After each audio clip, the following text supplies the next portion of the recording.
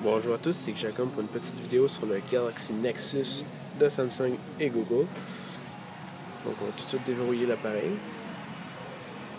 En ce moment, je suis dans un Future Shop. J'ai vu l'appareil, j'ai décidé de faire une petite démo. Donc on a l'interface Honeycomb Android 3.0 présente.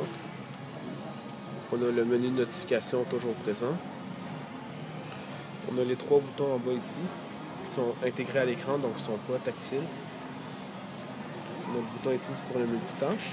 À la Honeycomb encore une fois.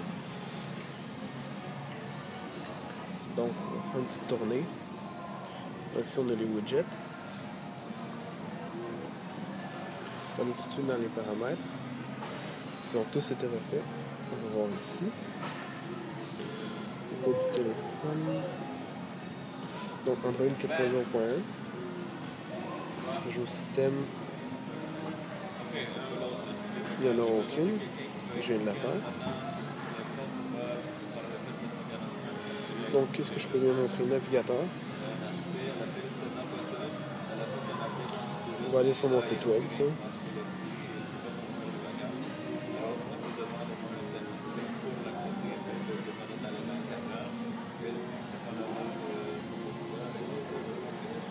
Donc on va voir comment il va rendre.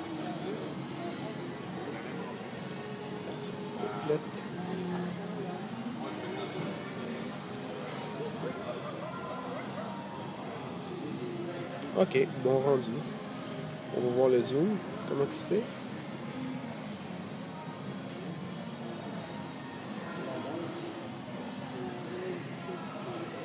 Assez fluide. Donc, ce que je peux montrer d'autre Je vais aller dans les. Là, je vais vous montrer la caméra.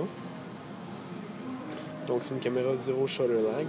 Il n'y a aucun lag lors de la prise de photo. Euh, ensuite, les widgets. Donc, on va essayer celui-là ici. Widget météo. Tout simplement. Pardon, j'étais en dehors de l'écran. Donc, ici, on a la localisation. Ici, on a le fond d'écran animé. Donc, euh, c'est un peu pas mal tout ce qu'il y a.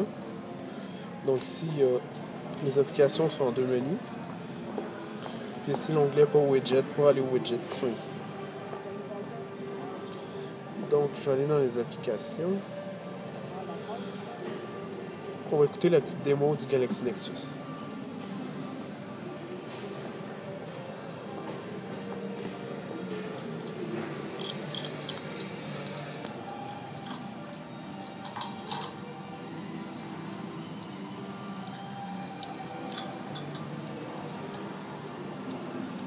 Comme vous pouvez voir, les trois boutons logiciels ici?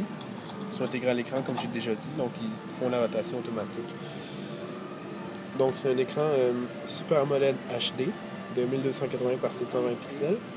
Donc ça approche l'iPhone 4, 4S en matière de densité de pixels, mais ça ne pas pas. Je cherche encore des petites choses à montrer. Ah oui.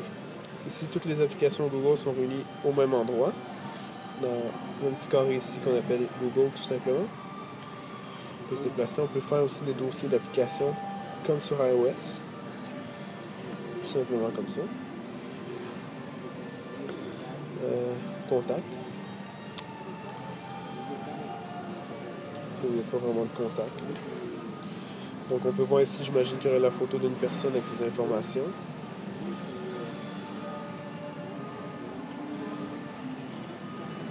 Donc on est rendu au bout. On a comme un effet de rebondissement.